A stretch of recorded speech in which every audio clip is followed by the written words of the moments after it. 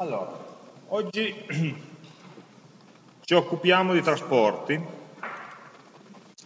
o meglio di dati relativi ai trasporti, un argomento che avevo già lanciato un po' di tempo fa eh, come esca e oggi è arrivato il momento di farsi del male, non tantissimo ma un pochino, no? per riuscire a capire come trattare questi tipi di informazioni. Eh, forse la prima volta in cui mettiamo le mani su un insieme di dati eh, reale e non eh, addomesticato, diciamo così, per gli scopi del corso. No? Ah, vabbè, il dizionario anche era un dataset reale, ma era, diciamo così, di utilità, di struttura soprattutto abbastanza limitata, abbastanza semplificata. Allora, ehm, iniziamo, diciamo, partiamo diciamo così, da capire di che cosa si tratta, quali dati sono, e poi per gradi cercheremo di imparare un po' come fare a gestirli, a, diciamo così, a utilizzarli nei nostri programmi, da cui poi chiaramente potranno scaturire moltissime, eh, moltissimi problemini e problemucci che possiamo cercare di risolvere. Allora, eh, inizio a raccontarvi che cos'è questa sigla e che cosa significa, avendo in mente che noi vorremmo eh, costruire dei, delle applicazioni che lavorino, ottimizzino, facciano delle ricerche, delle ottimizzazioni, delle scoperte all'interno delle reti dei trasporti. Allora, per rimanere un pochino campanilista, eh, abbiamo, anche perché poi alla fine sono cose che uno conosce perché le vive tutti i giorni, quindi è un po' meno astratto, eh, ho pensato no, di, di utilizzare come esempi due tipi di rete di trasporti quella che vedete alla vostra sinistra è forse la più nota perché è la rete urbana dei trasporti pubblici torinesi, no? la famosa rete GTT, eh, questa è diciamo, la versione miniaturizzata di, del, della fotografia delle mappe che trovate eh, ad ogni fermata degli autobus, dei tram e della metropolitana, che è abbastanza già complessa come, come, rete, ci sono moltissime linee con moltissime fermate e molte corse al giorno per ciascuna delle linee, quindi è un dataset abbastanza corposo. Per farci le ossa ne prendiamo un altro un pochino più semplice, che è quello che è indicato alla nostra destra, che eh, da, credo sia da un paio d'anni giù di lì, che si sono inventati una cosa che si chiama servizio ferroviario metropolitano, eh, che di fatto significa significato riorganizzare in modo leggermente diverso e sotto una gestione più o meno unificata delle linee di trasporto che esistevano già, in buona parte esistevano già, no? però hanno un pochino razionalizzato eh, gli orari e uniformato alcuni tipi di, di fermate, di percorsi. No? Ehm, per chi non lo conosce, il tentativo che è stato fatto era di prendere appunto linee extraurbane ferroviarie, esistenti, quindi linee su cui viaggiavano normalmente i treni regionali, buona parte delle ferrovie dello Stato, ma in alcuni casi anche il GTT, eh, quindi quella che va verso eh, Chieri, quella che va verso Susa, quella che va verso Rivarolo, eh, quella che va verso Chivasso e poi verso sud Moncalieri Pinerolo, Alba Bra, eccetera, e, e Asti. Sono delle linee ferroviarie esistenti che sono state in parte unificate, no? questo era, in realtà era già precedente, ad esempio se una volta c'era una linea Torino, Rivarolo, Ponte e l'altra linea Torino, eh, quella che va a Chieri, e anziché trattarle come linee separate hanno semplicemente unito i due capolinea, per cui il treno anziché fermarsi a Torino e tornare indietro arriva fino all'altra linea, e quindi c'è meno carico sulle stazioni intermedie, quelle cittadine, e alla fine più treni in circolazione. Operazioni di questo genere che vanno avanti da anni. Eh, L'altra cosa che hanno fatto, diciamo così, è quella di eh, utilizzare le fermate metropolitane, quindi quelle all'interno della città, eh, facendo in modo che i treni regionali, questi treni, diciamo così, aderenti al servizio, servizio ferroviario metropolitano, fermassero in tutte queste stazioni, creando una sorta, diciamo così, poco nota di metropolitana nord-sud di Torino no, la metropolitana che esiste è essenzialmente est-ovest, cioè va da Corso Francia a Rivoli fino al centro, e poi fa l'ultimo tratto, la porta nuova verso Lingotto in direzione sud. Però la, la parte Torino Nord non è assolutamente servita. Eh, queste linee ferroviarie invece entrano, cioè, fanno parte del cosiddetto passante ferroviario torinese, quello che da 30 anni ci sta lavorando, e è fatta di una serie di stazioni che sono collocate appunto nell'asse nord-sud. Partiamo da nord, la prima stazione che incontrate è Torino Stura, poi stendiamo un velo pietoso su quella in mezzo, poi c'è eh, Torino Porta Susa, e poi la linea prosegue verso Torino Lingotto, che è la stazione d'uscita dall'area metropolitana, perché dopo c'è Moncalieri, cose di questo genere.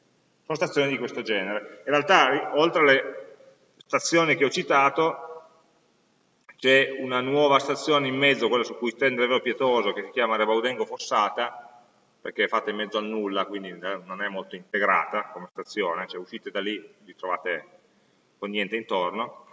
E, e che non è invece integrata con la vecchia stazione d'ora, che forse qualcuno di voi si ricorda, esisteva, poi l'ha tirata giù, poi lavora del passante. Quindi diciamo che in termini di integrazione ci sono ancora dei, dei passaggi da fare. Però è una rete che sta funzionando soprattutto su quest'asse nord-sud, se voi avete bisogno di spostarvi eh, c'è un treno ogni 10-15 minuti, quindi eh, sicuramente se dovete andare, che so, fammi dire un esempio, allo Shan di corso eh, Giulio Cesare fate prima con questo che non col tram, col 4 che ci mette una vita in mezzo. No? È un sistema che esiste. Ehm, una struttura simile a questa è eh, ovviamente più semplice, perché il numero di fermate, il numero di pallini che vedete qua è enormemente inferiore, poi ci metteremo i numeri, è di molto inferiore rispetto a quanto avete nella rete urbana. Quindi giocheremo con questi due, che comunque non è piccolo, eh? nel senso che io l'anno scorso avevo cominciato a caricare i dati di questo sistema a mano, eh, devo dire che mi è passata la pazienza quando sono arrivato circa a metà, perché sembra, sembrano non molte fermate, ma provate a elencarle tutte, elencarle tratte, eccetera. Eh, comunque hanno una certa dimensione. Questi sono i giocattoli su cui giochiamo. In realtà il formato dei dati rappresentati da questi due signori, che vediamo tra un secondo, è standard, standardizzato, e quindi se andate a prendere, volete prendere la metropolitana di Londra o di Parigi, lo trovate, eh, e quindi gli stessi algoritmi che useremo potranno funzionare anche con sistemi diversi, eh, grazie al fatto che usano un formato standard. Formato standard che si chiama GTFS. GTFS, di cui trovate tutta la specifica, che andremo anche a leggere, quell'indirizzo che è indicato qua, developer.google.com barra transit, è il formato di dati sul quale si basa, soprattutto ma non solamente, il sistema che si chiama Google Transit. Cioè tra i vari prodotti di, di Google ce n'è uno che si chiama Google Transit che è di fatto eh, l'integrazione all'interno delle mappe di Google Maps dei dati di trasporto. Quindi quando voi su Google Maps eh, scegliete per andare dal punto A al punto B potete scegliere ci vado a piedi, ci vado in auto, e per questo serve solamente la viabilità, oppure ci vado con i mezzi pubblici. Per poter fare quel tipo di ricerca di mezzi pubblici Google ha bisogno di conoscere i percorsi, i tempi, gli orari, le fermate dei mezzi pubblici tutte le città del mondo, su per giù. Ma, eh, dicevo, questa è un, eh, una delle applicazioni che utilizza questi tipi di dati perché nel momento in cui il formato è stato standardizzato eh, sono sorte poi anche molte altre applicazioni, anche indipendenti rispetto a Google, che, eh, che, usano gli stessi dati per fornire servizi diversi, magari applicazioni più locali, più diciamo così, limitate geograficamente. Eh, se vi interessa, eh, molto bella la storia di come è nato questo GTFS, se andate a vedere sull'ultima slide qua, eh, nei riferimenti c'è un link The Story dove c'è un articolo che è stato scritto dalla persona eh, che ha, ha, diciamo così, ha, ha iniziato no, tutto questo percorso di GTFS, una persona che lavorava nella pubblica amministrazione di una città e aveva dei problemi per rendere accessibili ai cittadini i dati sul proprio trasporto pubblico locale sono incontrati una volta con quelli di Google e poi da lì è nato tutto. Molto interessante anche dal punto di vista, diciamo così, dei modelli di collaborazione, dei modelli di business, come sia nata questa cosa. cosa che di fatto fornisce informazioni o servizi tipo gratuito a entrambi, quelle tipiche collaborazioni in cui hanno tutti da guadagnare. E hanno da guadagnare anche, tra l'altro, anche persone che non erano inizialmente coinvolte. Una paginetta di un blog da leggere può essere interessante. GTFS significa, voi credete che la G stia per Google, in realtà no, in realtà non più, cioè inizialmente sì, poi alcuni storgevano il naso, allora gli hanno cambiato il nome, perché io non uso uno standard di Google, allora si chiama non Google, ma si chiama General Transit Feed Specification. General l'ha messo lì perché ci vuole una parola che cominciasse con G, eh, Transit Feed Specification, cioè specifica dei transit feed, dei, eh, dei flussi di transito. Eh, in realtà esistono due parti di questa specifica, una è il GTFS vero e proprio, che sono i percorsi, vi danno l'orario, di fatto vi danno la mappa e gli orari. È come se voi aveste la cartina e l'orario dei passaggi di tutte le linee. Mm? Informazione che noi normalmente non abbiamo in nessun formato, in nessuna forma. Una volta, mm, prima che eh, si diffondesse così tanto internet, ma forse lo trovate ancora in qualche stazione, c'era il libro degli orari ferroviari nazionali, delle ferrovie dello Stato. 200 pagine scritte piccole, piccole, piccole, cui c'erano tutte le corse e tutti gli orari di passaggio delle corse dei treni però, non del percorso del traffico locale. Il traffico locale ha molte più corse, no? ce n'è uno nei 10 minuti, quando va bene. Eh, ma ad esempio in quel libro degli orari ferroviari non c'erano informazioni eh, geografiche, coordinate, non c'era la cartina, c'erano solamente le linee. Eh, nella cartina del GTT che abbiamo visto ci sono le linee, ci sono le collocazioni, ma qui non trovate gli orari, gli orari, gli orari trovate alla pallina. Sono informazioni che parzialmente vediamo, queste, eh, ma qui sono condensate in un'unica un rappresentazione, in un unico set di dati completo, e che contiene la parte, diciamo così, statica delle informazioni sul trasporto di una certa area. Statica nel senso che è quella parte che cambia due volte all'anno, no? quando arriva il nuovo orario estivo, il nuovo orario invernale, oppure nel caso del trasporto pubblico locale cambia un pochino più frequentemente, magari sono delle deviazioni delle linee, spostano un capolinea, cose di questo genere, però diciamo che può cambiare una volta, una volta al mese come ordine di grandezza. Poi invece ci sono l'altra porzione GTFS, di cui almeno per oggi non ci occupiamo, che è quella in tempo reale, cioè l'informazione sui passaggi. Tu hai un orario che ti specifica a che ora dovrebbe passare quel mezzo oggi che è martedì, e poi hai invece un'informazione in tempo reale che ti dice che oggi quel mezzo lì è un minuto in anticipo piuttosto che 5 in ritardo. Allora, quella è un'informazione usa e getta, rapida, rapido utilizzo, pubblicazione continua, aggiornamento continuo che dice i mezzi di circolazione dove sono e cosa stanno facendo. Quindi la parte in tempo reale. Eh, quindi se io sto facendo un piano di percorso, no? domani devo andare da un punto a un altro, mi interessa chiaramente l'orario nominale. Ma se devo partire tra 5 minuti mi interessa sapere il, il 10, no? se sta per arrivare, è già passato, quindi mi conviene andare a una fermata piuttosto che un'altra. E questa è una seconda specifica che è nata, eh, nata dopo, un pochino, un paio d'anni dopo essenzialmente. Noi cominciamo a occuparci della prima. Allora, eh, in particolare, allora, cominciamo a aprire un po' di pagine web, così le abbiamo pronte quando andiamo a approfondire.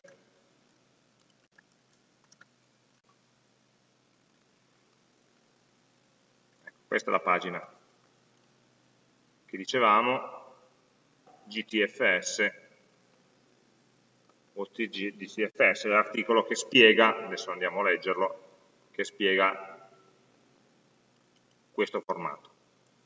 Eh, ma al di là del formato, che dobbiamo imparare, poi i dati chi ce li dà? Perché qualcuno specificato, cioè, chiamiamolo standard, non è stato standardizzato, ratificato da nessuno, ma diciamo così, una, una definizione data da alcune aziende che ci sono messe d'accordo. E poi i dati, perché va bene avere il formato, ma se poi mi devo mettere a mano a trascrivere tutti i dati di tutte le fermate di Torino, eh, diventa lunga. Allora, per fortuna eh, questi dati sono da parte di praticamente tutte le agenzie di trasporti che aderiscono a questo, sono pubblicati in forma aperta e libera. Cioè voi a quegli indirizzi che sono scritti sopra trovate due file zip, quello di sinistra e quello di destra, che sono relativamente appunto eh, il, il formato GTFS del trasporto pubblico locale e il formato GTF, GTFS del servizio ferroviario metropolitano. Il primo sono 30 mega zippati, quindi è un, è bel, è un bel colpo. Però sono dati aperti, quindi chiunque li può scaricare. Questi sono quelli di Torino. Vi interessa qualcos'altro? Vi interessano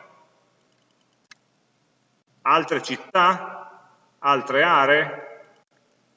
Siete curiosi di qualcosa, la vostra città natale, chissà dove? Allora c'è questo sito, non è ufficiale, diciamo così, chiunque può creare e pubblicare un file di questo genere. E poi se lo vuole integrare in Google Maps deve mettersi d'accordo con Google per pubblicarlo. È chiaro che io e te non lo possiamo fare. Sono l'assessorato dei trasporti della città tal dei tali, lo posso fare, cioè ufficialmente richiedere, comunicare alla Google qual è il mio dataset per poter pubblicare le mie mappe sul loro sito, attraverso i loro servizi. Ma poi indipendentemente da questo, molti pubblicano questi dati in forma, in forma aperta. E questo sito GTF Data Exchange essenzialmente eh, sono persone che si sono messe a raccogliere il link tutte, queste non sono tutti i dati che ci sono, sono tutte le città o le entità che pubblicano dati, quindi ciascuno di questi in realtà può averne anche diversi. Eh, dicevamo prima Londra, ci sarà?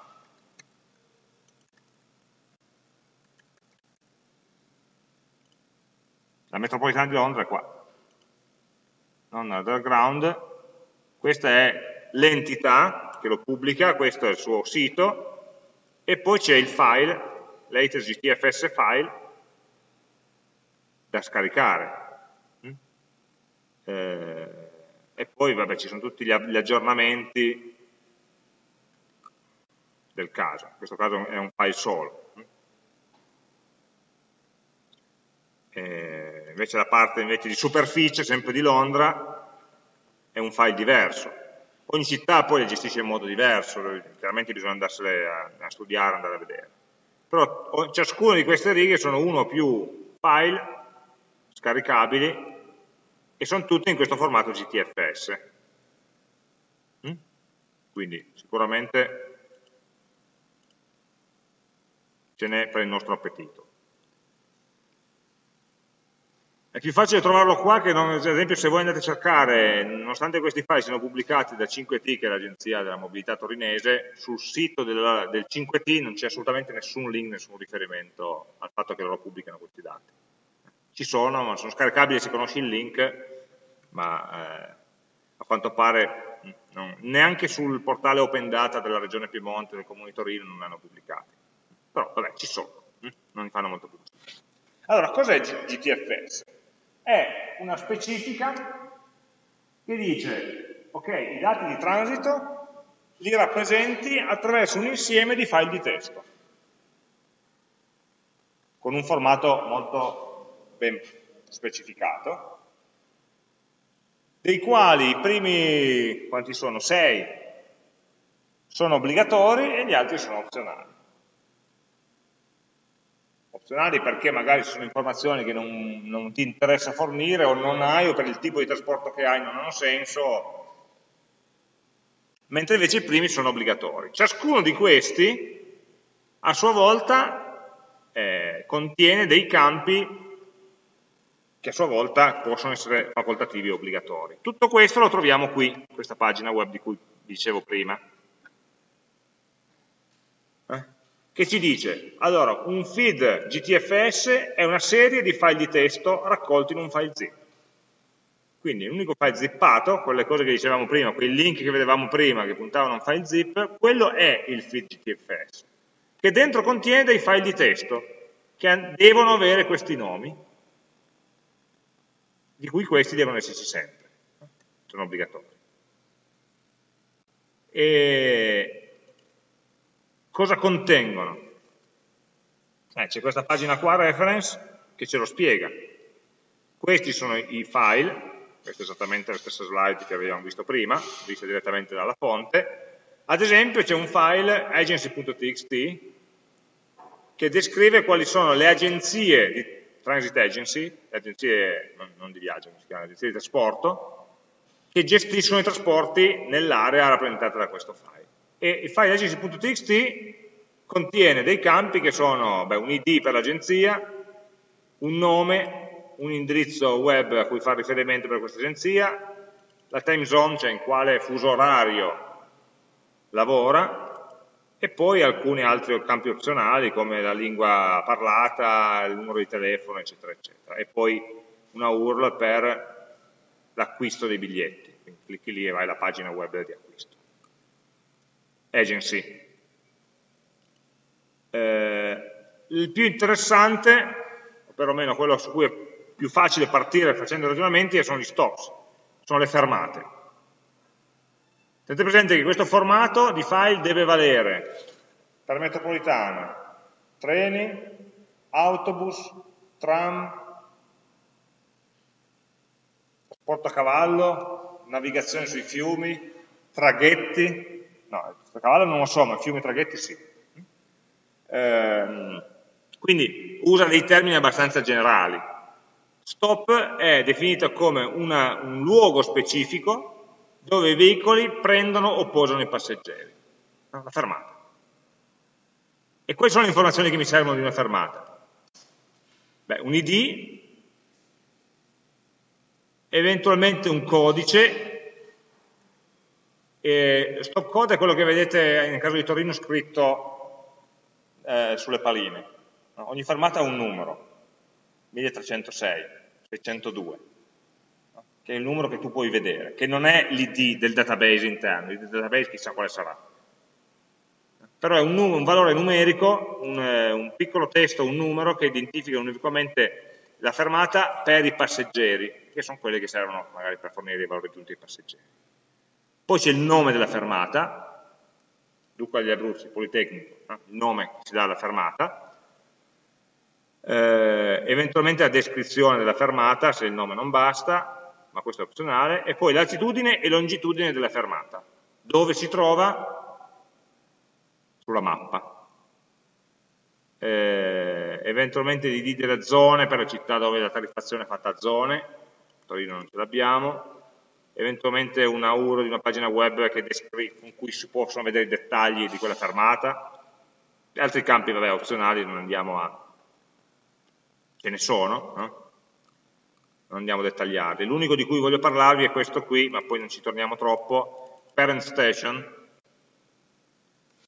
perché se ci pensiamo, eh,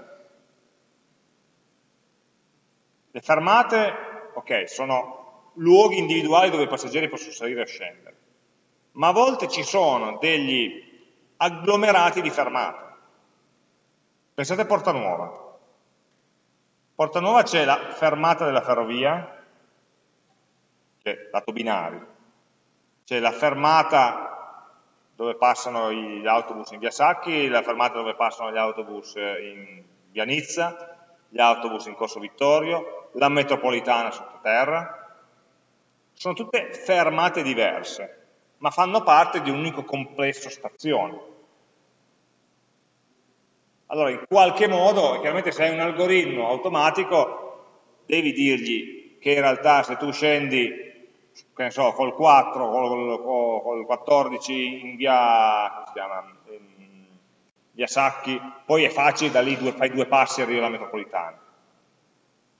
Perché sono lì, perché sono collegati. Oppure la fermata, il luogo dove si ferma la metropolitana Porta Nuova è lo stesso dove fermano i treni. Cosa che non è scontata, eh, perché se voi prendete la stazione Lingotto della, della metropolitana la stazione Lingotto delle ferrovie sono lontane un chilometro, nonostante si chiamino nello stesso modo. Allora, questa informazione qua viene codificata da questo campo parent station. Dice, beh, questa fermata è una fermata interna a una stazione o una fermata esterna rispetto a una stazione oppure è lui una stazione e quindi contiene altre fermate. E quindi di fatto in realtà abbiamo due livelli di fermata. La fermata vera e propria e la stazione che a sua volta contiene altre fermate interne. Questo noi, gestire questo complicherebbe abbastanza le cose, quindi facciamo finta di nulla. Sono le fermate. Allora, questo qua sono dai punti di fermata. Dopodiché ci sono i veicoli che fanno dei viaggi, dei percorsi. I percorsi sono descritti in un file che si chiama root, che sono le corse, Noi, io lo tradurrei le corse. Sono più facili da capire se pensiamo ai treni. C'è un treno che passa a certi orari. Il treno che passa alle 8 è diverso da quello che passa alle 9. Sul trasporto locale, urbano, cioè il tram, noi come utenti non abbiamo quella percezione. Cioè, sai che il 10 passa all'incirca in 10 minuti. Così sembra che passi, che intanto quando non voglia partono e più o meno in media passano. In realtà anche il trasporto pubblico locale ha degli orari, no? perché tu devi avere al mattino un autista che sale, tal dei tali, che sale su quel mezzo lì specifico e sei sicuro che ci sia, che sia in quel deposito. Non è che puoi dire ogni 10, ogni 10 minuti qualcuno parte per fare un giro dal capolinea. No? Poi il traffico fa sì che magari la pianificazione che c'è ai capilinea venga poi persa no? durante la strada. Allora abbiamo un'impressione più di valor medio che non di cadenzamento preciso. Però pensate che chi, chi decide quanti mezzi comprare, quanti autisti di fare i turni, eccetera, deve avere esattamente il numero di corse che verranno fatte per ogni autobus in quella giornata, nella giornata di oggi e di domani. Del 58 quante corse ci sono? Esattamente ciascuna è numerata e ha un orario nominale di partenza, che poi viene rispettato o no, speriamo di sì, eh? ma quella è la corsa. Poi le cose sono dinamiche, perché a volte quando c'è tanta ressa aggiungono un pullman in mezzo, fanno delle altre cose, vabbè, quelle sono fuori orari.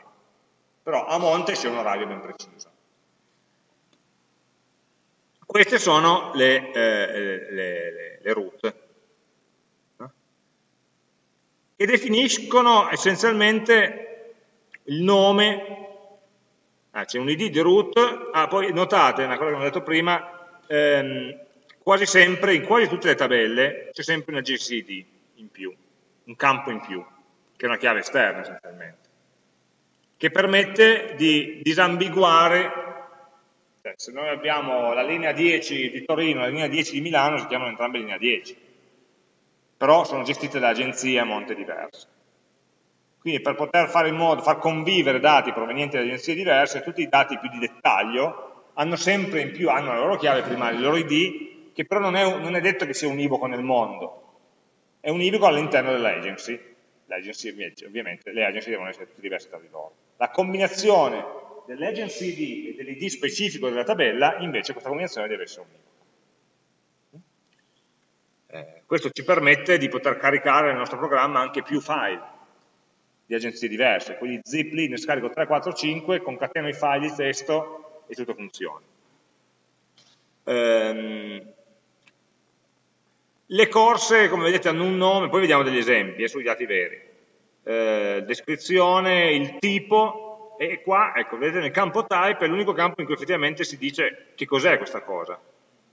No? È gondola, è la, non è la gondola veneziana, ma sono le teleferiche, no? dice una, un veicolo sospeso, o la funicolare, o vabbè, gli altri sono il, il traghetto, eh, cable car sono quelle, l'unica che mi viene in mente è San Francisco, eh, sono delle specie di tram in cui la, non hanno un motore, ma hanno un braccio meccanico che si infila, una fessura nell'asfalto, sotto la, sotto la strada gira una fune. Per cui il mezzo cos'ha? Questo braccio meccanico che è infilato in questa fessura, questo, questo braccio chiude, prende, si aggancia alla fune e il mezzo viene farinato. Un po', eh, però funziona. Eh, è un po' una, una teleferica al contrario, col cavo in basso anziché il cavo in alto. Quindi c'è di tutto. Questi dati, solo questo è l'unico campo di tutto il, tutti i GTFS che ti dice essenzialmente su che tipo di mezzo devi salire. Vabbè, poi se vuoi il colore, eh, questa, che colore vuoi eh, colorarla, eccetera. Ecco, la, cosa, la, prima volta che ho guardato questi, questa specifica ho detto, ma sì, ma poi sta, questa cosa qui dove va, dove passa? E qui non me lo dice. Questa è la linea. La linea poi è fatta di tanti passaggi. Ingenuamente uno pensa che è la linea che definisce quali sono i passaggi, cioè quali sono le fermate di cui è composta. In realtà non è vero, perché su una stessa linea passaggi diversi potrebbero avere fermate diverse. Anche in campo urbano ci sono alcuni autobus che magari nell'orario scolastico fanno un giro diverso, leggermente diverso, per portare a prendere le ragazze a scuola, oppure quando c'era la Fiat, eh, nell'orario di entrata e uscita c'erano eh, del, delle fermate in più, e sul capolinea del 10 andava più avanti rispetto a prima, mentre quando invece non c'era orario di entrata e uscita dal lavoro. Quindi, pur essendo la linea unica, la stessa, le fermate che faccio dipendono dalla corsa. E quindi le fermate vengono definite non a livello di linea, ma a livello, non a livello di route, ma a un livello inferiore, a livello dei trip. Quindi lui dice che una route è un insieme di trip che sono visualizzati come un servizio unico, cioè la linea 10, la metropolitana, è uno. Poi è fatta di tanti trip, che sono i viaggi presenti in ciascuna route, in ciascuna linea. Un trip è una sequenza, due, eh, una sequenza a questo punto di due o più fermate a specifici istanti di tempo. Quindi, ad esempio, un trip dice che è fatto eh, TripID, il viaggio 27 della linea 10, in che direzione va, eh, head sign è quello che c'è scritto di fronte all'autobus, qual è la scritta che lui mostra, di fatto non, di solito è il nome del capolinea, la direzione, ShapeD fa riferimento, ne parliamo tra un attimo, fa riferimento a come disegnare la linea, disegnare il percorso su una cartina, c'è un file diverso, un file separato in cui ci sono, c'è informazione vettoriale dei punti da collegare. Però anche questo continua a non darmi le fermate, perché le fermate ce l'hanno gli stop time legati alla trip. Se vi siete persi, vi capisco. Eh, le fermate, quindi dicono che questa trip, identificata dall'id, arriva a una certa ora e riparte eventualmente a una certa ora, che può essere la stessa o no, a una certa fermata.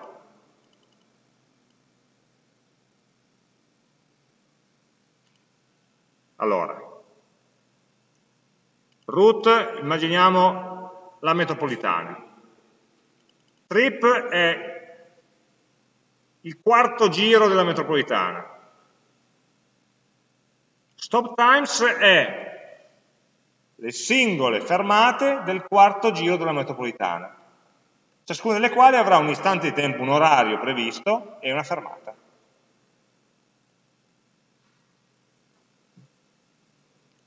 Questi stop times, eh, dicevo, hanno lo stop id, la stop sequence, cioè in che ordine tocca le varie fermate, la prima, la seconda, la terza, la quarta, la quinta fermata, di quel trip, di quella route. E beh, poi gli altri campi sono opzionali. Quindi il percorso è descritto in dettaglio, ma questo descrivere in dettaglio comporta una certa complessità di passaggi. Poi proviamo a seguire direttamente nei, nei file. Eh, vi parlo ancora dell'ultimo file eh, diciamo, obbligatorio, che è il calendar. Calendar.txt dice eh, in quali giorni della settimana quel determinato servizio viene effettuato. Quindi è un campo in cui ciascuna colonna, c'è una colonna per lunedì, una per martedì, una per mercoledì, e ciascuna può essere 0, 1 per dire il mercoledì c'è o no. Um, in realtà non lo definisce per ogni singola corsa, ma definisce un concetto di servizio, service ID, che potremmo dire servizio, eh, lo potremmo chiamare feriale, festivo, giornaliero, diamo dei nomi simbolici, dice beh, quel nome lì corrisponde a questi giorni della settimana. E poi le singole, se non sbaglio, trip hanno un service ID di riferimento, dicendo questa qua è la corsa 10 feriale, questa è la corsa 10 festiva. Quindi sono due trip diverse che fanno riferimento a due service diversi che, che, che permettono di determinare se in quel giorno della settimana quel mezzo sta girando oppure no, nel caso dei giorni delle settimane normali. Perché poi ci sono i giorni speciali, le feste, il primo maggio, il 25 aprile, eccetera, eccetera, che sono elencati come eccezioni in un altro file, calendar dates, dice che guarda in quella data ci sono delle eccezioni per cui quello che non dovrebbe esserci in realtà viene fatto oppure quello che non dovrebbe essere fatto in realtà viene fatto. Mm? Allora, questa qua è la specifica. Proviamo a vedere ah, qual è il formato di questi file è il formato con cui sono indicati, questa specifica dice quali sono le informazioni che sono presenti in ciascuno di questi file. E poi come sono formattate? Sono formattate in formato CSV. CSV sta per Comma Separated Value? È un formato di testo che serve essenzialmente per memorizzare tabelle bidimensionali. Cioè, immaginatevi un file Excel in cui i dati vengono, quindi righe e colonne, in cui i dati vengono salvati una, un file di testo in cui ogni riga del file di testo corrisponde alla riga della tabella Excel per farsi capire.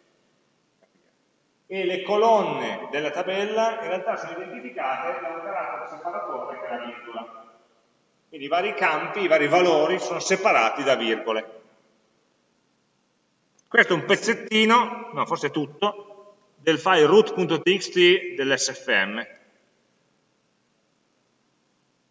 dove c'è la prima riga che contiene i nomi dei campi, che devono essere obbligatoriamente uguali a quelli della tabella.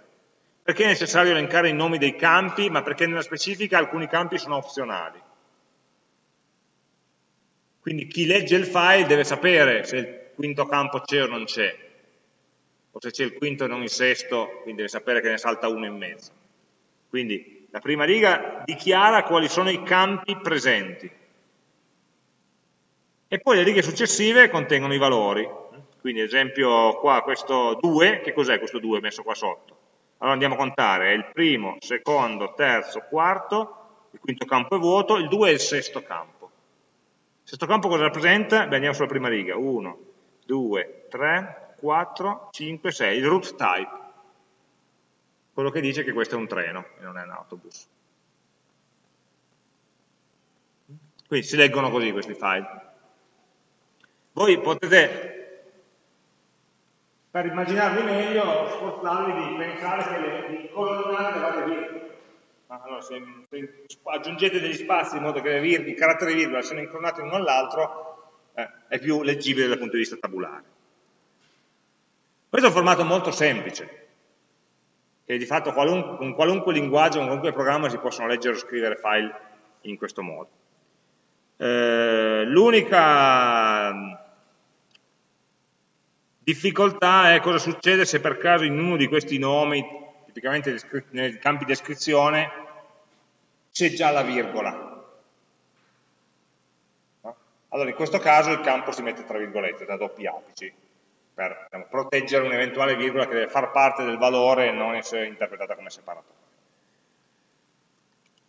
Ehm, quindi proviamo a vederne uno di questi, aprirlo direttamente in un editor prendiamo questo qua dell'SFM, allora, questo è il file che ho scaricato tale quale, fatelo mettere in una cartella temporanea, così andiamo a vederlo, lo scompattiamo,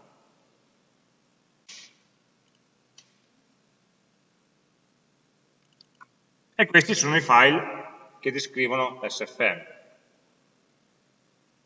dicevo root.txt, no scusate, partiamo da, da, dall'inizio, agency.txt. Agency è quello no, che dice quali sono le società di trasporto, in questo caso ne, ne indica due, una si chiama GTT underscore F, immagino che voglia dire ferrovie, e l'altro è FS.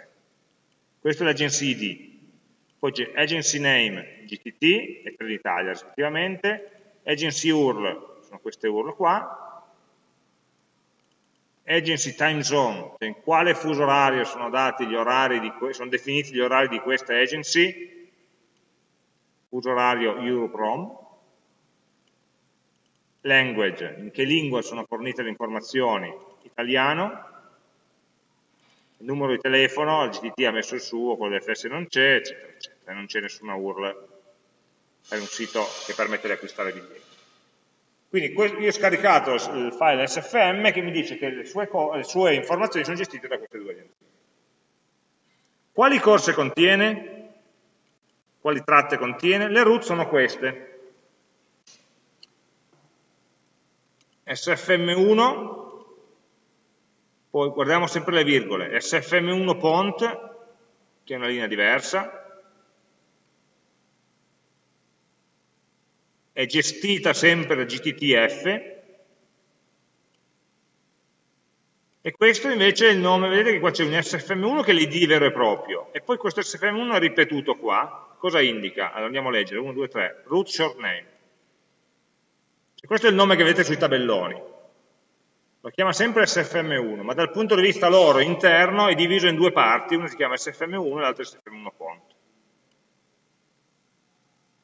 Perché? Magari sono pianificate in modo diverso, ma all'utente è visibile questo. Poi c'è SFM2, SFM2 bus, la 3, SFM3 Bardonecchi, SFM3 bus, SUSA, SFM4, eccetera, eccetera.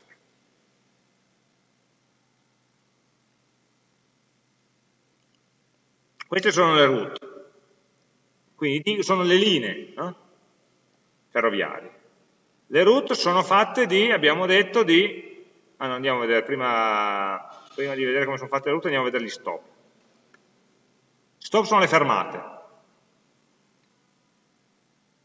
Stop ID sono questi, sono, di fatto hanno scelto qua il nome della città più o meno abbreviato, poi c'è stop name, invece è il nome visibile della città, latitudine e longitudine, e non c'è altro. Quindi in route abbiamo i nomi delle linee, ma non ci dice dove passano. Stop abbiamo i nomi delle stazioni e la loro posizione, ma non ci dice quali linee passano. Ancora. Eh? Avviciniamo queste due informazioni. Le avviciniamo partendo da trip. Trip sono tutti i viaggi che avvengono su ciascuna linea. Allora qua vedete che sulla linea root id SFM1 ci sono questi, il trip id è il terzo campo. Questo, questo, questo, questo. Sono tutte le corse diverse, qui c'è il numero del treno. I numeri di treni li vediamo, in stazione li dichiarano, sono scritti. Queste sono tutte le corse dell'SFM1. Il campo precedente è il service ID, quello che dice in quali giorni della settimana viene svolto. Seriale 5, FER 5N, FER 5N, FER 5N, FER 6. Cos'è FER 5N e cos'è FER 6? Andiamo a vedere in calendar. Calendar dice che FER 5N si svolge di lunedì, martedì, mercoledì, giovedì, venerdì, non di sabato e domenica, nel periodo che va dal 15 dicembre 2013 al 7 giugno 2014. Date scritte anno, mese, giorno. Eh? Quindi questo è un filtro che dice guarda quella trip ha senso solamente in quei giorni della settimana, in quel periodo del calendario. 7 giugno, quindi l'8 giugno dobbiamo andarci a scaricare il file nuovo per vedere eh, come cambiano le corse. Mentre invece FER 6 sarà feriale su sei giorni, infatti viaggia dal lunedì al sabato, solo escluso la domenica.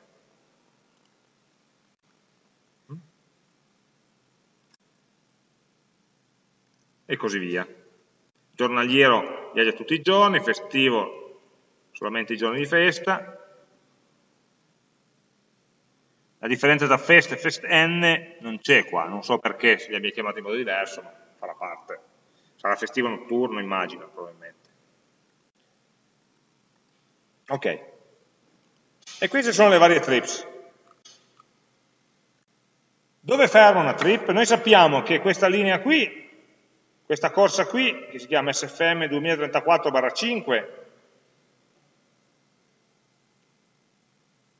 che ha come capolinea, cioè il head sign, c'è scritto sul treno, sul treno non scrivono niente, ma facciamo finta, c'è scritto sui tabelloni in stazione, destinazione Revarolo, trip short name è il nome che viene visualizzato, quindi il nome completo è questo, invece il numero del treno che è visualizzato è questo, la direzione è Rivarolo-Chieri R, quindi ritorno, una direzione di ritorno, invece, invece altre sono Rivarolo-Chieri andata da qualche parte sotto ci sono. Quindi il nome della, è una stringa che identifica il verso di percorrenza.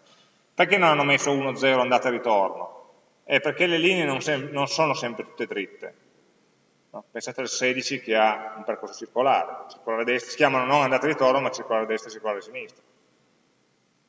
Altre, altri casi, la maggior parte delle città che hanno una metropolitana articolata, ci sono delle linee che nel tratto centrale hanno un percorso unico e poi si biforcano. Quindi in realtà in una, su una linea insistono due tipi di, di quattro, eh, quattro direzioni, due per andare, due per venire, in funzione di come si biforca all'estremità è complesso. Più ci pensiamo, più ci accorgiamo che ci sono complicazioni. Eh? Ma va bene. È così. Eh, dicevo, queste sono le corse, le singole corse, che hanno delle fermate, finalmente arriviamo agli stop time. Allora, se io vado a prendere uno di questi che mi, che mi piace, che ne so, prendiamo questo qua a caso, e vado in stop times a cercare dove compare questo signore, Vedete che questo è il nome del trip, del viaggio, e associato al viaggio mi dà l'orario di arrivo, l'orario di partenza in questa fermata. Quindi questo 1 dice questa è la prima fermata che fa. Questo viaggio, questo trip, questa corsa, ferma a Rivarolo alle 17.54. Poi a Feletto alle 17.59 riparte un minuto dopo, ferma a Bosconero come terza fermata e così via e poi va avanti così fino ad avere l'ultima fermata, in questo caso a Chieri come tredicesima fermata. Solo qui, solo dagli stop time, riesco a capire come è fatta la linea, cioè quali sono le fermate che sono collegate tra di loro. Adesso vedrete che in questo caso per la linea, per, tutti, la, per la maggior parte dei trip della stessa linea, la sequenza delle fermate sarà sempre la stessa. perché c'è quella linea che ferma in tutte le stazioni, quelle sono tutte le volte che va e tutte le volte che viene. Ovviamente i tempi di fermata sono diversi, ma eh, le fermate si ripetono quasi sempre in modo uguale. Ma non è, visto questo formato, non è obbligatorio, noi possiamo decidere che la, la corsa delle ore 13 non ferma a Bosco Nero. Perché? Non lo so, perché è così e quindi ogni corsa ha la definizione delle fermate da cui passa. E questo va avanti, chiaramente il file più lungo questo, perché sono tutte le singole fermate di tutte le singole corse, di tutte le singole linee. Questo è il vero orario, il resto sono metadati, sono dati descrittivi che ci permettono di interpretarli, ma questo è ciò che dice che ci sono 5357 fermate al giorno, mezzi che si fermano da qualche parte nella giornata per la parte ferroviaria. Mm? Quindi questo è il formato che noi vogliamo elaborare. Poi, ecco, un cenno solo, perché in realtà il file più grosso non è quello dei stop times, ma quello dei shapes, a noi interessa abbastanza poco, ma se facessimo grafica, una shape è la descrizione di una linea spezzata, poligonale, che disegna il percorso della linea. Quindi questa linea che si chiama, noi guardavamo la SFM1, Rivarolo, Ingotto, Chieri, è composta da una serie, vedete che il primo campo è sempre uguale e poi sono ripetuti dei numeri che sono delle coordinate. Quindi è una linea disegnata. Qui do le coordinate, le longitudini e latitudini dei vari puntini da cui passare. Perché noi abbiamo già le coordinate delle stazioni, ma poi tra una stazione e l'altra non vado in linea retta. Vado attraverso un percorso poligonale, che viene approssimato qua da una poligonale. Ma questo mi può servire per due scopi. Il primo è capire quanto è lungo effettivamente in chilometri un percorso, che non è a distanza cartesiana dalle stazioni. E l'altro è disegnare vera e propria la stazione. No? Vedete che qua, questa linea qua, Lingotto Chieri, ha 13 fermate, avevamo visto prima, mi pare sia la stessa linea, non Ligotto Chieri, noi guardavamo la Rivarolo Chieri, no? Rivarolo, Ponte Rivarolo aveva, vabbè, aveva 13, una linea che abbiamo visto eh, prima, Rivarolo Chieri, quella che abbiamo visto prima, aveva 13 fermate, ma la linea poligonale che lo descrive ha, eh, sarà che fa dei giri tortuosi, ma no, questo è già il ritorno, aspetta, l'andata finiva prima. no no. Sempre R. 339 puntini. Però con questo se noi fossimo Google Maps potremmo disegnarla sopra allora questo file diciamo, ci interessa abbastanza poco in questo caso eh, se poi andiamo a prendere invece la, trasporti pubblici locali di Torino, avremo i file nello stesso identico formato. Sono solamente un pochino più grassi. Cioè, tanto, tanto per guardarlo, giusto per, per farci un'idea di quanto sono grandi, copiamolo qua in carta temporanea, lo espandiamo, Eh, qui vediamo ad esempio top times sono 75 mega file di testo che corrispondono, dandogli un po' di pazienza, prima avevamo visto che erano dagli tempo poverino, erano 3.000, no 5.000, 3.500 fermate, qua siamo eh, 5.300 fermate nelle ferrovie, Qui invece ne abbiamo, cos'è questo numero? 2.170.000. Servizio urbano di Torino. Le fermate di stops sono 7.200 fermate diverse. Punti diversi della città in cui si ferma qualcosa. Quindi siamo già no? a, eh, mentre invece nel, nell'altro eravamo a 100 rispetto a 7000. Quindi siamo quasi due ordini di grandezza in più. Questo motivo per cui partiamo dal, dal servizio metropolitano che è meno interessante perché come topologia è più semplice, è una topologia a stella, ci sono le sezioni centrali e poi ci sono le linee, però perlomeno sono dati ragionevolmente più gestibili. Più gestibili, domande, curiosità, timori? No?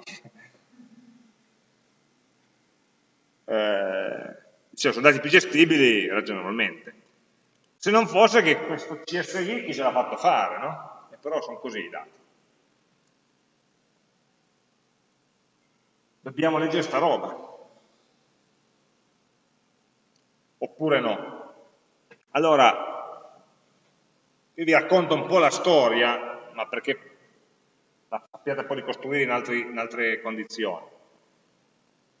Visto qua hai due possibilità.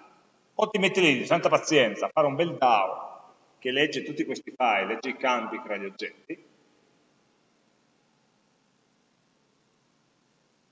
facendo attenzione perché sembra facile qua, però ad esempio, so, sono, il discorso dei campi opzionali. Tu sai se un file che hai scaricato la colonna opzionale ce l'ha o no? Quindi quando apri un file devi leggere la prima riga, capire le colonne, quindi a seconda delle colonne che ci sono devi aspettarti un tal numero di campi nelle righe successive, ma parli sulla colonna giusta. Per ogni file diverso. Poi crei degli oggetti che hanno dei campi o no. Poi questo file è fatto anche male, infatti la prima volta che l'ho importato non funzionava, non funzionava tutto perché ad esempio qui c'è virgola, spazio, virgola, che è sbagliato, perché vuol dire che questo campo qua in mezzo dovrebbe essere una stringa che contiene uno spazio solo. Mentre invece in formato CSV sono dei campi vuoti, posso mettere più virgole uno dopo l'altra, senza... lo spazio in mezzo non serve, chissà perché l'hanno messo, il programmino che lo generava. Così come qui c'è la virgola in fondo. La virgola in fondo vuol dire che dopo questa c'è ancora un campo che è vuoto. In tanti bei casi particolari. Però se si mette lì, con tanta pazienza, si apre questo file e si legge. Oppure prima di farlo ci si chiede, ma aspetta un attimo, non è che qualcun altro l'ha già fatto?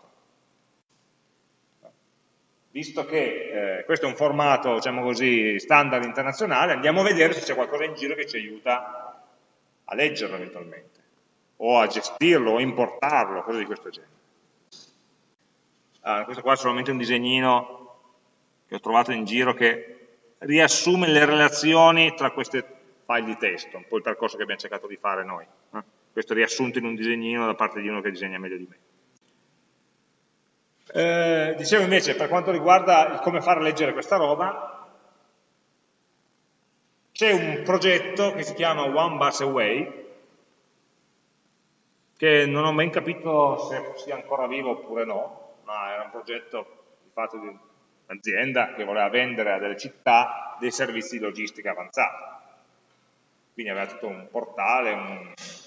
è questa cosa qui.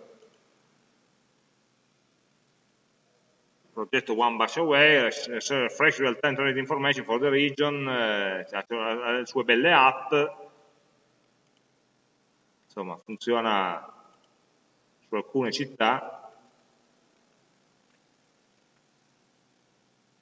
e oltre alla buona dose di pubblicità che c'è sempre, questo mta.info di fatto è un'applicazione che hanno fatto questi signori su cui, vabbè, non mi soffermo troppo perché non, non so cosa faccio, è un'applicazione, diciamo così, di, di, di, viaggio. Ma al di là di questo, questi signori hanno sviluppato buona parte di questo sistema in modalità aperta, open source. Per cui se andate qua, in questo sito github.com, che è uno dei siti di condivisione di software open source, c'è un wiki che spiega come funziona, eh, come fanno, come utilizzare i loro dati, come utilizzare le applicazioni, eccetera, eccetera, e come fare a comprare i loro servizi se vi interessa. Tra queste risorse online che ci sono, ce n'è una, tra tutti questi diciamo, file di questi progetti, c'è un, un sottoprogetto che si chiama GTFS Modules. Cioè loro fanno tante cose, l'interfaccia utente, la grafica, l'applicazione mobile, eccetera, eccetera. Dentro a un certo punto hanno una parte di, di, di codice che gestisce formato GTFS, che è in grado di leggere quei file. E distribuiscono anche a parte, come sottoprogetto, solamente queste librerie. E sono fatte in Java, ovviamente. Perché l'ho cercata in Java, no? ci sono per tanti altri linguaggi, ovviamente mi interessava una libreria Java. Quindi questa è la libreria che ci serve, One Bus Away GTFS Modules, che contiene, io quando ho visto questo ho detto sono a posto, legge e scrive file GTFS come oggetti Java, è in grado anche di leggere i dati GTFS dentro un database SQL. E poi ha dei programmini per cancellare, aggiungere, importare, eccetera, eccetera. E fare fusione di vari GTFS. Allora, questo è quello che mi serviva, e in particolare mi servivano due cose da questi signori. Allora, io ho scaricato questo progetto GTFS, ma è troppo complicato per noi. Questi sono, nel momento in cui lo scarichi, sono i progetti che vengono giù, Eclipse. In realtà già anche solo scaricare questo è complicato, troppo complicato per noi, per ciò che facciamo qua. No? Perché di fatto non si tratta di scaricare uno zip come quello che vediamo noi, no? carica e importa del progetto in Eclipse.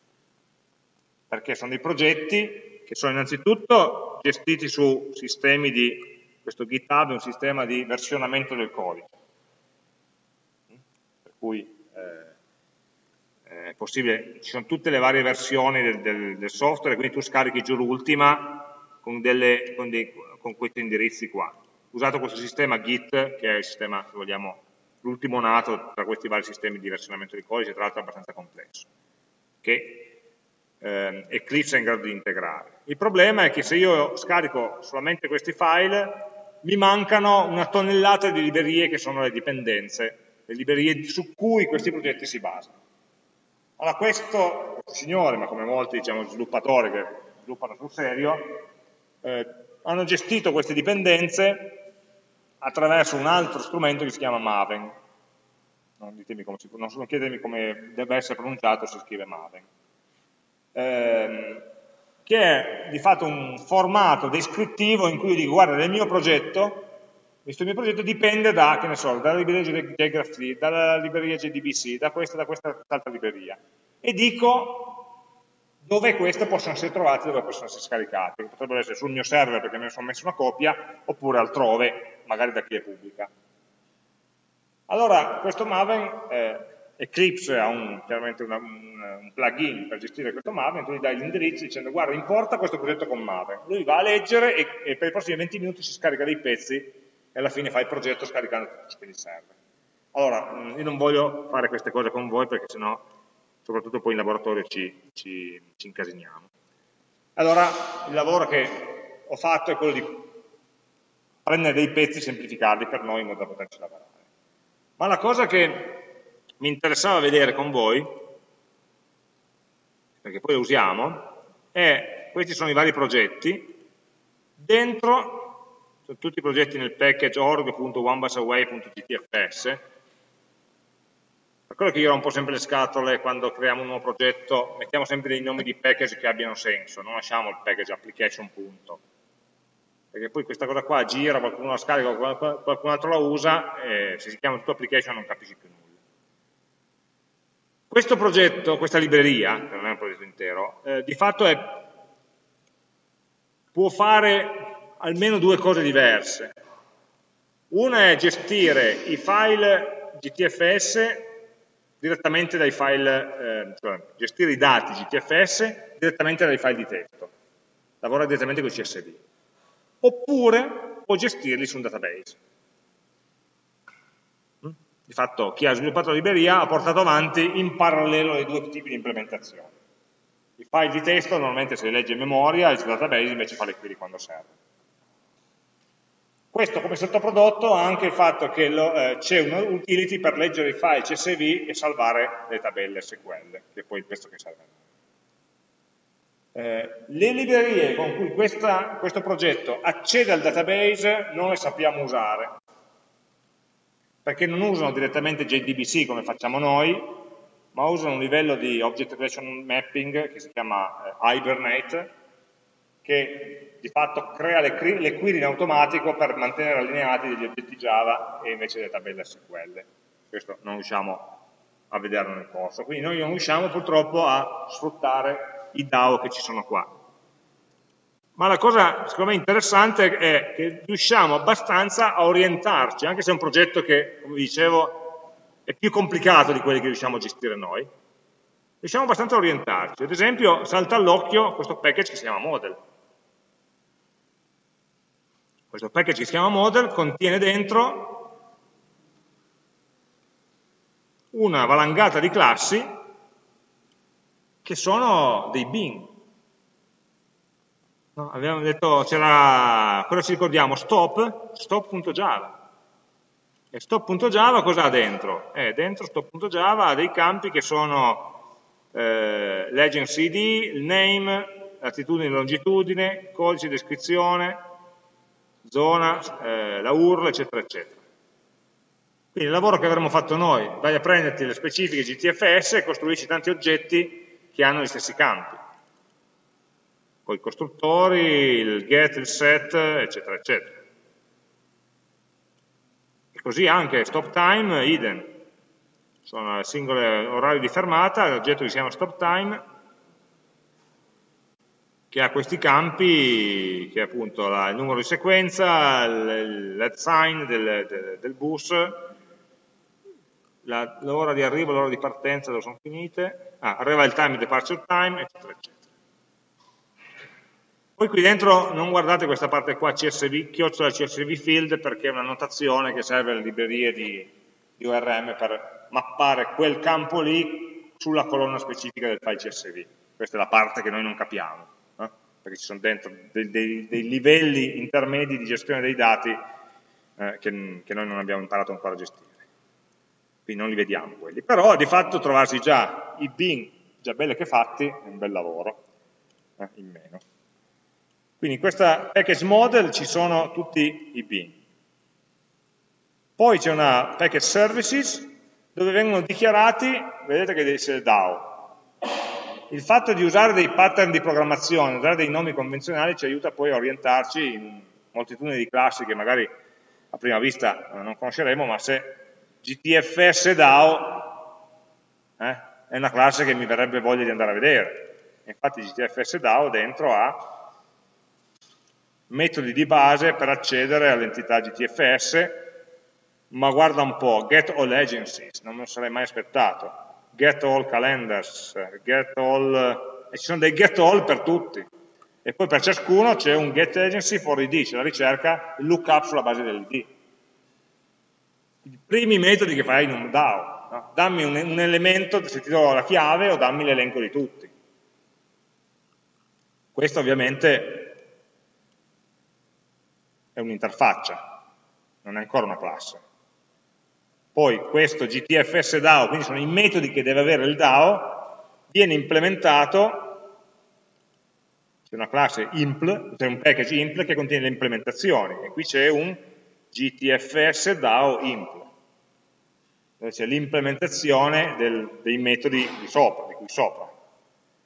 Questa è un'altra parte che noi non sappiamo fare, perché di fatto questo DAO è un po' fasullo, perché tutti i metodi in realtà vengono rimappati su un get all entities for type, che è un metodo di un,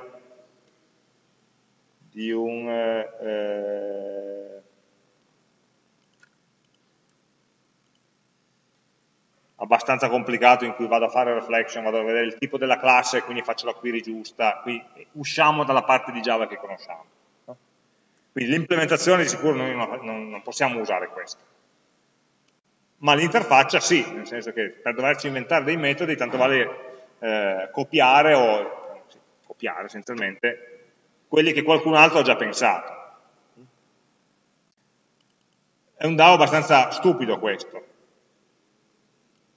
in realtà ce n'è un altro che si chiama, un'altra interfaccia che chiama uh, Relational DAO, dove ci sono dei metodi un pochino più avanzati. Get Roots for Agency già, mh, di fatto fanno già le join tra diverse informazioni, mentre l'altro Get Stop for Station è già un'interrogazione un pochino più articolata che non dammi semplicemente l'elenco delle fermate, l'elenco delle, delle stazioni, eccetera, eccetera. Ma il primo passo per noi, quindi questo è un buon luogo da cui andare a pescare ciò che ci serve. Non possiamo prendere tutto il progetto così com'è perché uno è troppo grosso, troppo, troppo complicato e uno delle parti di Java che non conosciamo, quindi non siamo a nostro agio, ma per andare a, prendere a man bassa le parti che ci servono sicuramente è utile. Eh, L'altra cosa, quindi noi ci ricostruiamo ciò che serve a noi, quindi i nostri bin, il nostro DAO, a modo nostro, andando a rubare da qua.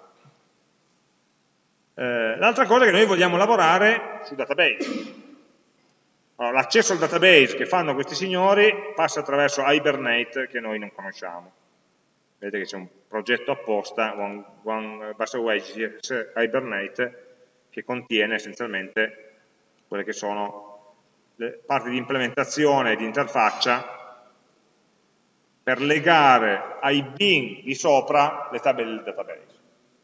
Chiusa parentesi su Hibernate, perché sarebbe mezzo corso solo su quello, eh, anche se alla lunga sicuramente è un investimento che paga, quindi consideratelo, no, noi qua non lo facciamo, ma consideratelo. Ehm, la cosa che, che, è in grado di fare questo, questo, questa libreria è anche quella di creare no, un modello relazionale delle stesse informazioni. Questo si fa, eh, vabbè, uno dei modi per farlo è usare un programmino che danno a disposizione loro, c'è questa One Bus Away GTFS CLI, CLI sta per Command Line Interface, c'è un programma a linea di comando, un'interfaccia a linea di comando, che fa un lavoro solo, prende un GTFS, quindi una cartella con quei file di testo dentro, e li mette in un database, li converte in database. Quindi l'operazione che ho fatto è di usare questo programmino che si scarica da quella pagina di sopra e che si chiama eh, One Bus Away GTFS Hibernate CLI tantantan.jar e dare questo comando. Java, poi devo dare nel class path ovviamente lui stesso e il MySQL connector, lui già non è che può averlo, perché non sa se uso MySQL o un database, questa è la classe main, GTFS database loader main, e poi gli passo un po' di parametri che di fatto definiscono la connessione al database. Il driver, la JDBC URL, le credenziali d'accesso, questo è sempre tutto uguale, ciò che cambia sono due parti in rosso. Quella in alto è il nome del database MySQL che voglio creare, anzi in realtà devo crearlo a vuoto, poi lui le tabelle le crea dentro però il database deve esistere già. Quindi io nel mio database creo un database e uso il nome di quel database. E poi alla fine, invece alla fine, c'è il nome della cartella nel quale sono stati scompattati i file zip. Qui ho messo punto perché è la cartella corrente. Ho lanciato questo comando, la linea di comando, dentro la stessa cartella in cui avevo scampattato i file. Ok? Ciò che fa questo comando, se gli date poi un quarto d'ora di tempo per lavorare, quello della città anche di più, no, quello del settembre sono pochi minuti, ma non stiamo a ripeterlo, ripetere l'operazione, è quello di popolarmi questa database con le tabelle che corrispondono alle stesse informazioni. L'operazione di convertire da CVS, CSV, comma separated values, in un database relazionale che abbia la struttura giusta, tutte le relazioni, eccetera, eccetera, per fortuna ce l'abbiamo già fatta, l'abbiamo trovato già fatta non è stato semplicissimo capire dove e come, ma c'è già fatto. Qual è il risultato? Il risultato è questo, è un database fatto così.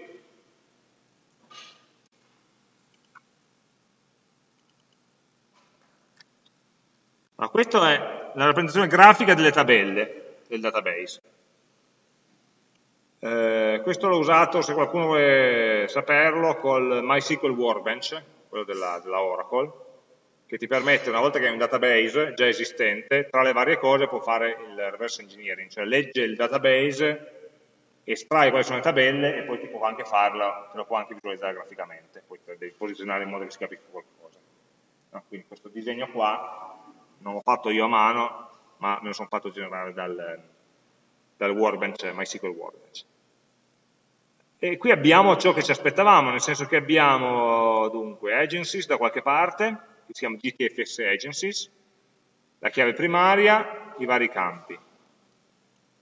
Le root, agency ID, ID della root, ID dell'agenzia, vedete che la chiave primaria è doppia, andiamo un pochino, la chiave primaria è doppia, e poi ci sono tutti i vari campi.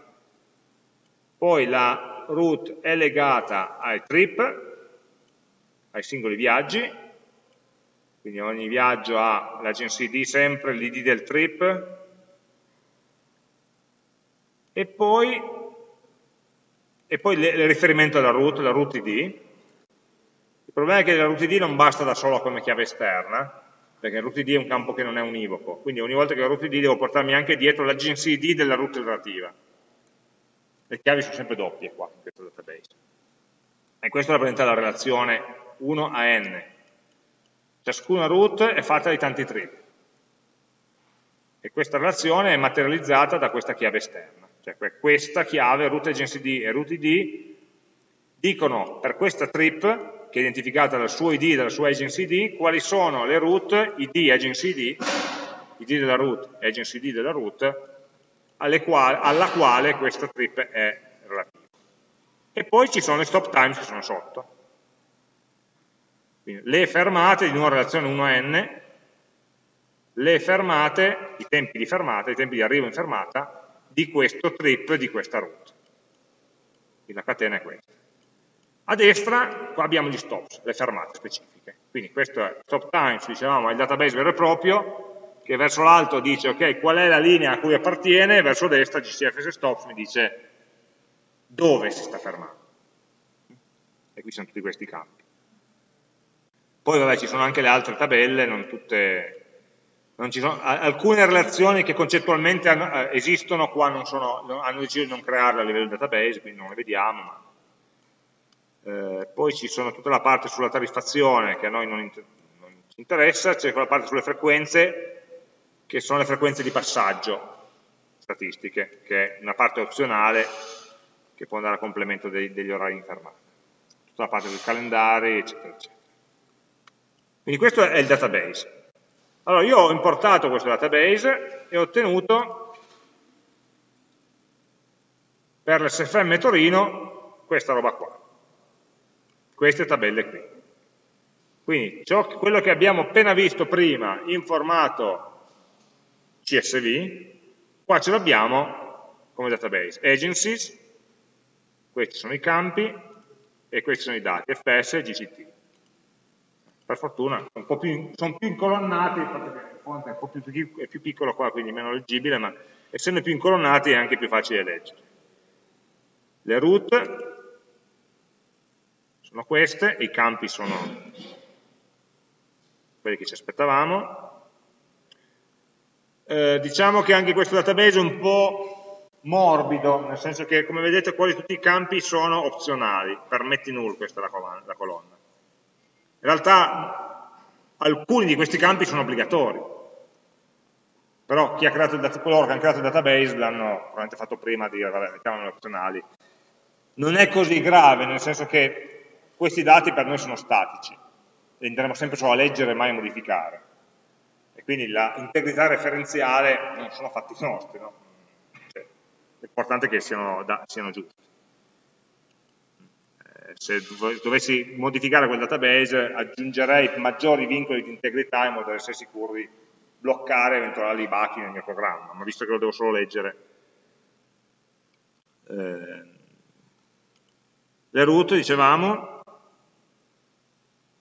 vabbè, stop times, i dati sono quelli, che abbiamo già visto prima. Ok? Allora, noi possiamo partire da qua. Sul sito del corso vi ho messo già i dataset, dunque tecnica di programmazione, materiale, qua nella parte datasets vi ho già messo per l'SFM il formato GTFS originale, quindi lo zip con i file di testo dentro, e il formato SQL, quindi c'è già database SQL da importare direttamente che è quello che ho appena importato qua prima di venire. E poi la stessa cosa per la città di Torino, dove anche qua dove c'è il formato SQL. Vi ho anche messo qua, dove c'è questo link struttura delle tabelle, un link a questo file PDF, essendo un PDF facilmente zoomabile e ingrandibile, può far comodo come riferimento per orientarsi dietro queste tabelle quando uno fa le query, trovo, trovo abbastanza comodo questo. Sulle slide c'è, ma sulle slide che compare come immagine, quindi non è che riesce a ingrandirlo più tanto. Quindi questo è quello con cui dobbiamo lavorare.